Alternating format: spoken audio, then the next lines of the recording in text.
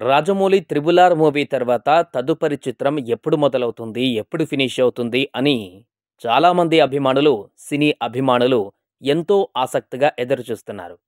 So, ఇప్పటికే దీనికి సంబంధించి దర్శకధీరుడు రాజమౌళి తన తదుపరి ప్రాజెక్టును సూపర్ స్టార్ మహేష్ బాబుతో గ్రాండ్‌గా పాన్ వరల్డ్ రేంజ్‌లో తీసుకురావాలని ప్రణాళికలు కూడా రచిస్తూ ఉన్నాడు. ఈ సినిమా ఎప్పుడు స్టార్ట్ అవుతుంది? ఎప్పుడు ఫినిష్ అవుతుంది? అనే విషయాల కన్నా కూడా రాజమౌళి టీం గురించి ప్రస్తుతం ఎక్కువ స్థాయిలో చర్చలు మొదలయ్యాయి. ఎందుకంటే రాజమౌళి తన కెరీర్‌లో టీమ్‌ను మార్చిన సందర్భాలు అయితే చాలా తక్కువ. వీలైనంత వరకు ఆయనతో వర్క్ చేసిన టెక్నీషియన్స్ మళ్ళీ నెక్స్ట్ ప్రాజెక్టులకు కూడా కంటిన్యూ అవుతూ వస్తూ ఉన్నారు. అయితే ఈసారి మాత్రం రాజమౌళి, మహేష్ బాబుతో చేయబోయే సినిమా విషయంలో చాలా మార్పులు చేసినట్టుగా తెలుస్తోంది. సినిమా బడ్జెట్ ఇప్పటికీ పదిహేను వందల కోట్లు అనే రకరకాల గాసిప్స్ వస్తున్నాయి. హాలీవుడ్ నుంచి ఒక ప్రముఖ నిర్మాణ సంస్థ కూడా ఈ సినిమా నిర్మాణంలో భాగం కానుంది అని వార్తలు కూడా వచ్చాయి.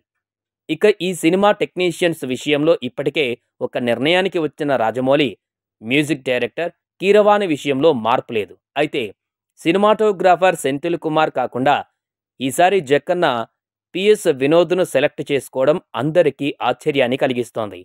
ఇక మరొక వైపు రాజమౌళి ఎడిటర్‌గా 'బాహుబలి' వరకు కోటగిరి వెంకటేశ్వరరావు వర్క్ చేశారు. ఇక త్రిబులార్ సినిమాకు శ్రీకర్ ప్రసాద్ వర్క్ చేయగా ఈసారి తమ్మిరాజును సెలెక్ట్ చేసుకున్నారు. విజువల్ ఎఫెక్ట్స్ సూపర్వైజర్‌గా త్రిబులార్ 'బాహుబలి' వరకు ఉన్న శ్రీనివాస్ మోహన్ కాకుండా ఈసారి కమల్ కన్నాన్ రంగంలోకి దిగాడు. గతంలో 'ఈగ', మగధీరా సినిమాలకు ఈయనే వర్క్ చేశారు. ఇక రైటర్‌గా విజయేంద్ర ప్రసాద్ కథను సిద్ధం చేస్తున్నారు.